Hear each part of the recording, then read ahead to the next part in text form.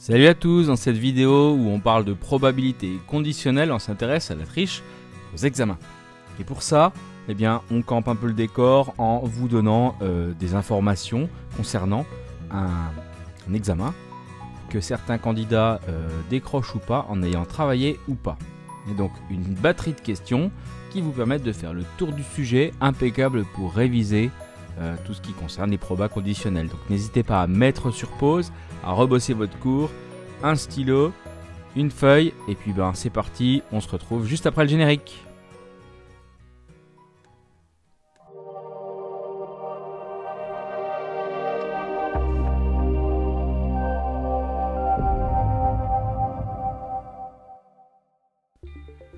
Donc comme de coutume, n'hésitons pas à commencer par faire un arbre pondéré même si ce n'est pas demandé. On part sur euh, deux étapes finalement, une étape de révision et une étape ben, d'obtention de l'examen d'admission. Et donc deux possibilités, soit on révise, on va écrire ça R comme on nous l'indique, et puis R bar on ne révise pas, soit on est admis, soit on n'est pas admis, même en révisant, et même en révisant pas, on peut être admis, ou évidemment pas admis. On vous dit que 9 candidats sur 10, on 3 euh, sur 4, pardon, on, on, révise, et 1 sur 4 ne révise pas, 9 sur 10, euh, on l'examen en sachant qu'ils ont révisé, et donc du coup 1 sur 10 ne l'a pas, par conséquent, on vous dit aussi que euh, quand on n'a pas révisé, on a 2 chances sur 10 d'avoir l'examen, donc 8 chances sur 10 de ne pas l'avoir. L'arbre est complet, on va pouvoir travailler. Première question, on vous parle déjà de la probabilité que le candidat rencontré soit admis et est révisé. C'est donc une, intersection.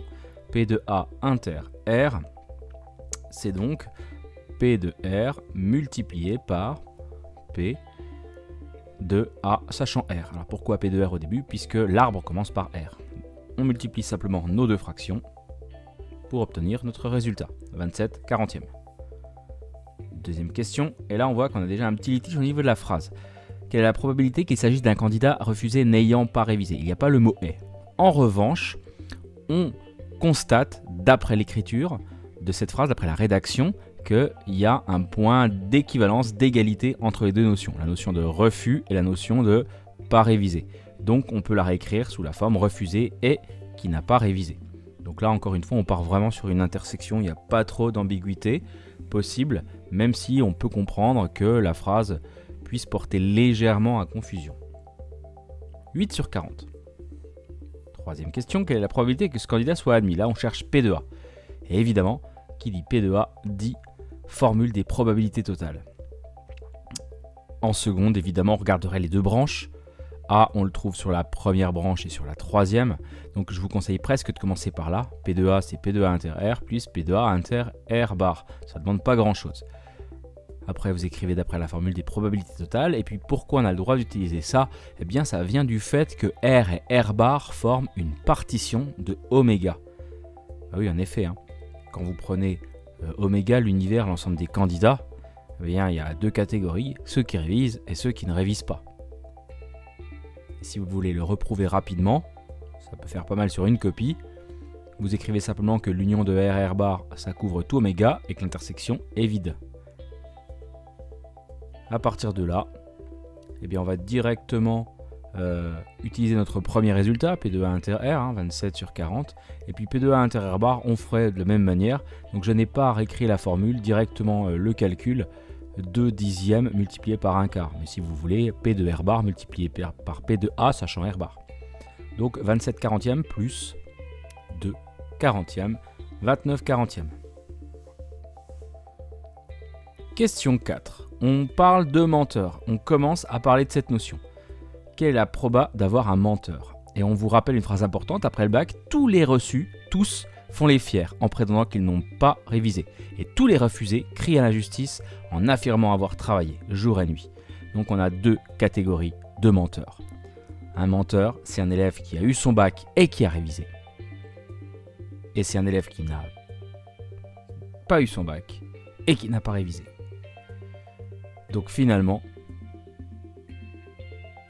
P de M, c'est P de R inter A ou A inter R plus P de A bar inter R bar.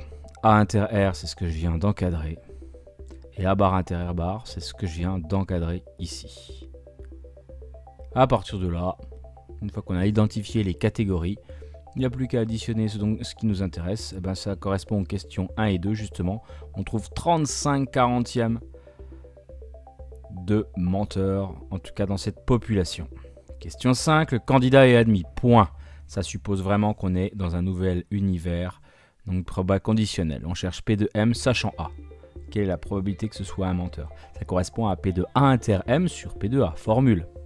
Or, A inter M, qu'est-ce que ça veut dire? Ça veut dire qu'on a affaire à un menteur qui a été admis. Mais s'il est menteur et qu'il a admis, c'est qu'il a révisé. Donc en fait, P de A inter M, c'est la même chose que P de A inter R. On est sur la première branche. Sur P de A, on déroule nos résultats. On a une petite division de fraction qui correspond à une multiplication par l'inverse, bien évidemment. Sur 27 29e. Question 6. Quelle est la probabilité que ce soit un menteur sachant qu'il est refusé? Refusé, c'est à barre. Donc là, cette fois-ci, on cherche P de M inter, euh, sachant pardon, à barre. Pareil, on va écrire P de A bar inter M, formule de base, sur P de A bar. Qu'est-ce que c'est que A bar inter M? Ça veut dire que l'élève est refusé et que c'est un menteur. Donc c'est qu'il n'a pas révisé par rapport à l'énoncé. On est sur la deuxième catégorie. Donc de la même manière, c'est pareil que P2 A bar intérieur bar qu'on a. Par contre, on n'a pas P2 A bar, mais on a P2A. Or, P2A c'est 1 moins P2 A bar et inversement. Donc en fait, P2 A bar c'est 11 sur 40. Même principe, même type de calcul que juste au-dessus. On trouve 8 onzièmes. Question 7. Y a-t-il plus de chances d'avoir un menteur si le candidat est admis ou s'il est refusé? Là, on s'intéresse à P2M sachant A et P2M sachant A bar. Et donc on va simplement comparer les résultats. On a 27 sur 29 d'un côté, c'est-à-dire à peu près 0,93, et 8 11e de l'autre, à peu près 0,72. Donc évidemment, on a plus de chances d'avoir un menteur s'il est admis. Ce qui paraît plutôt intuitif. Mais attention aux intuitions. Et à ce propos, on va passer sur la deuxième question. La dernière question, un peu plus difficile. Peut-on dire que le fait d'être menteur augmente les chances d'être reçu La question est évidemment provoque et pas forcément bien tourné, mais ce qu'il y a de sûr, c'est qu'on ne peut pas répondre avec les résultats qu'on a pour l'instant. P de M sachant A. À la marge, il nous faudrait éventuellement P de A sachant M. C'est-à-dire la probabilité d'être admis sachant qu'on est un menteur. Et eh bien on va le calculer. De la même manière, A inter M sur P de M. A inter M, on en a déjà parlé, c'est pareil que A inter R. Hein. Donc en fait ça fait 27 sur 40. P de M, on l'a calculé juste à côté, c'est 35 sur 40. Et donc on arrive à un résultat de 27 sur 35. En simplifiant par 40. Alors quelque chose qu'on constate tout de suite déjà, c'est que P de A sachant M, c'est pas pareil que P de M. Que P de A, pardon. Ce qui veut dire que A et M ne sont pas indépendants. Déjà ce dont on pouvait aussi un petit peu présager. Ça ne répond pas vraiment à la question. Si vous voulez répondre à cette question, il faudrait comparer P de A sachant M, ben on le tient, à P de A sachant M bar. Alors je vous laisse faire le calcul, hein, c'est vraiment similaire.